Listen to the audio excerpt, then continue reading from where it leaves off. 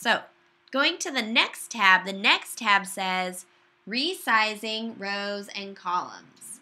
Resizing rows and columns. So you'll notice column A is really wide and column B is skinny and but really tall or fat, right? Yeah. So what you want to do is you want to get your cursor in between the A and the B. So you'll notice how it switches from an arrow into uh, to from a cursor into a one-way arrow. Now, if you're using a PC or a different browser, your cursor might look a little bit different. So when you're in between, you have to be up at the top where it says A, B, C, D, E, F, G. In between the two columns, you're actually able to click and drag and resize the column. You, got, you can't be on the cells. You have to be up just at the very top. You want to you're looking for that cursor to change. you got to be really patient. Scoot up, up here. Oh. Mm-hmm. And so you can see how you can make each of the columns wider or shorter. Okay. So then you can actually do the same thing with the rows, but you have to be all the way over on the edge, all the way over on the edge over here. So as you go in between, in between the rows, you notice that I'm able to then stretch out and make the rows fatter or skinnier. So I take this really fat row and I make it a skinny row. Okay.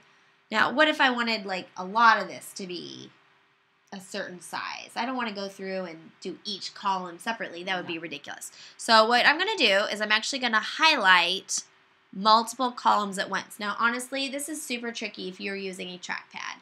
So you got to be, click away, you got to be on the letters at the top, at the columns on the top, and you got to kind of be fast so you can highlight a whole bunch of columns at the same time. Okay? And so then you need to grab, you can resize any column. I'm going to resize here in between F and G, but I can resize in between any of the columns that I highlighted. When I let go, it'll resize all of them exactly the same.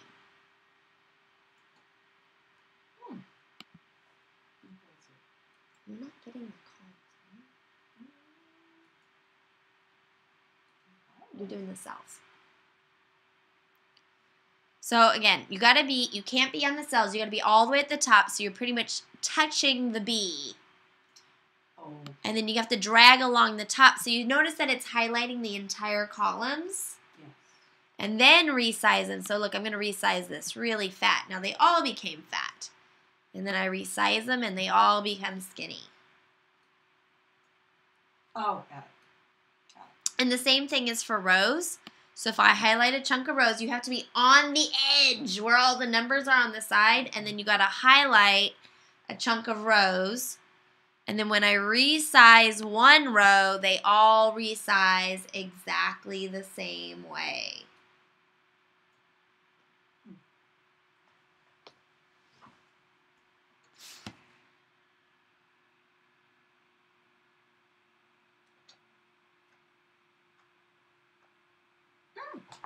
Okay. Okay. Thank you.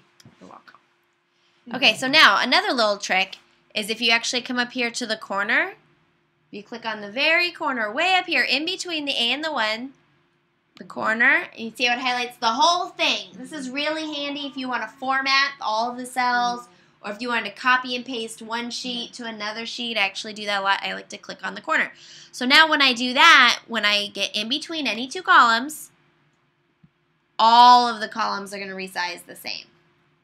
And if I get in between any two rows, all the rows are also going to resize the same, except if they have a text in it, they'll word wrap. So if you, so again, if I click on the corner, it highlights the entire cell. I got to be right up here. Okay, right? So if I get in between any two columns, I can make them all fatter or all skinnier in the same way. Okay.